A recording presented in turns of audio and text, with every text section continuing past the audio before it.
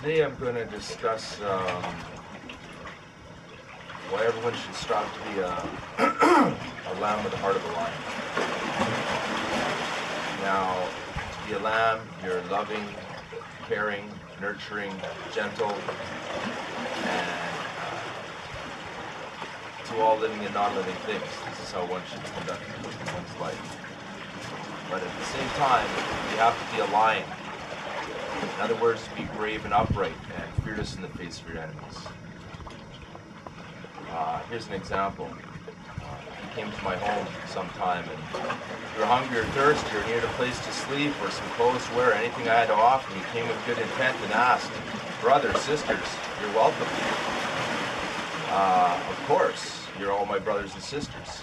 But at the same token, if uh, you came to my home with uh, evil intent, uh, bent on uh, perhaps burying myself or my family, well, brother, uh, I'll strike you dead and not even think another minute of it. Uh, because you have to be fierce the face of your enemies. And so that is what it is to be a lamb with the heart of a lion.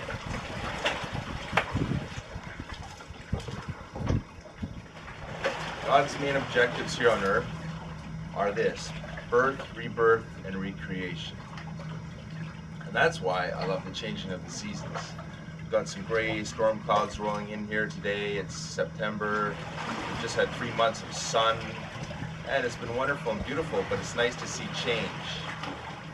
And uh, the rhythms of nature uh, are most beautiful to experience.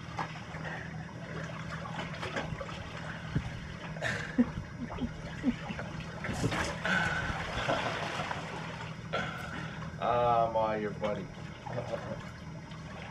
I don't know what to say today. I don't know. I'd rather write it down. But are you still rolling?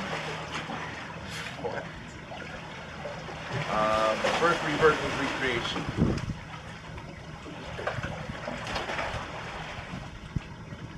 That's why reincarnation is fact.